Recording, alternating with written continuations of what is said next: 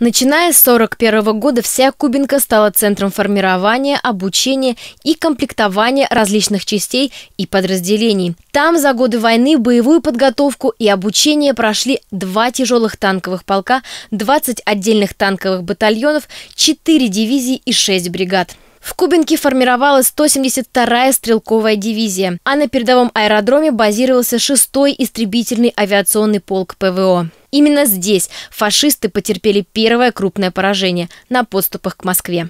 Митинг «Память», посвященный эстафете «Салют Победе», состоялся у мемориала. Прототипом центральной фигуры стал местный житель, ветеран Великой Отечественной войны Владимир Близниченко. Торжественное открытие началось с исполнения гимна Российской Федерации. Уже второй год подряд мы проводим такое замечательное и важное, прежде всего для молодежи, э, мероприятие. И прежде всего, я считаю, что, ребята, это важно для вас. Память она сопровождает нас по, по жизни. И помнить э, то, через что прошел наш народ, важно передавать вам.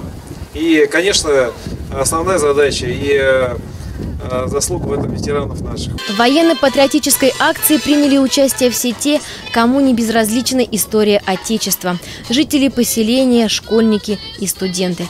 Конечно, на празднике присутствовали и ветераны. Для них «Салют Победе» – особое мероприятие. Именно в 20 числа апреля корпус, ломая сопротивление немцев, пробился на Эльбу. Этим самым разбил или раз, раздвоил, ну разбил, можно сказать, армию немцев на две части, на северную и на южную. В это время еще никого из западных войск, ни американцев, ни англичан там не было. И наш мотострелковый батальон проводил бои в очистке города Таргау. На митинге звучали всеми любимые и известные военные песни. Кружились пары. Юноши и девушки показали танцевальную реконструкцию. Война не смогла отменить такие простые вещи, как любовь и дружба. И пусть со мной нет сегодня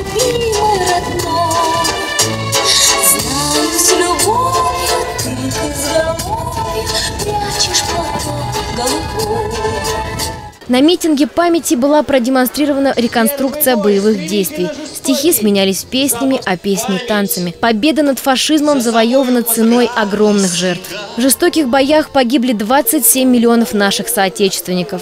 Пой гармоника в юге на зло, Заплутавшее счастье зови. Символы победы отправились из Кубинки в городское поселение Никольское. Передача сопровождалась воинским салютом. К мемориалу возложили венки. После окончания войны прошел уже 71 год, но память о тех, кто принес человечеству мир, навсегда останется в наших сердцах. Дарья Сутягина, Артем Ломоносов, телекомпания «Одинцова».